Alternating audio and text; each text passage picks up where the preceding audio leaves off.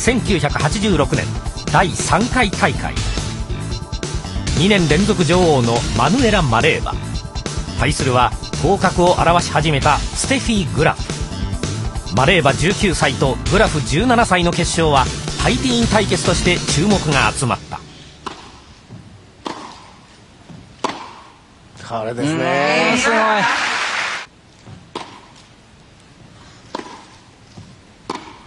時折柔らかいボールを加えてバリエーションをつけています。手前のグラフ。ああこれは見事。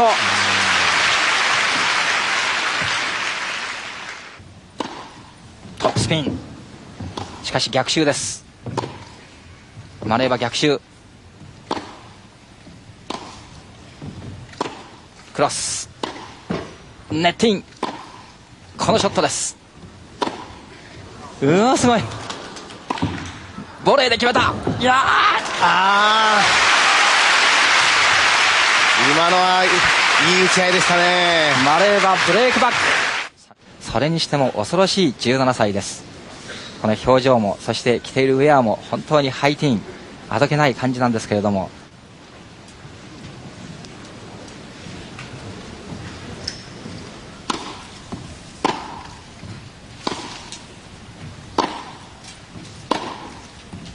マレーバ食い下がります。